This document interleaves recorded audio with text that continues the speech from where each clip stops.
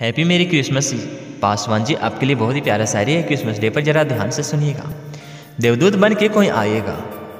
कि देवदूत बन के कोई आएगा, सारी आशाएँ तुम्हारी पूरी करेगा। पासवान जी, कि सारी आशाएँ तुम्हारी पूरी करेगा क्रिसमस डे के शुभ दिन पर। कि क्रिसमस डे के शुभ दिन पर तोहफे खुशियाँ के दे जाएगा। तोहफे खुशियों के दे जाएगा। हैप्पी मेरी क्रिसमस पासवान जी 25 दिसंबर 2022 की हार्दिक शुभकामनाएँ आपको मेरी ओर से।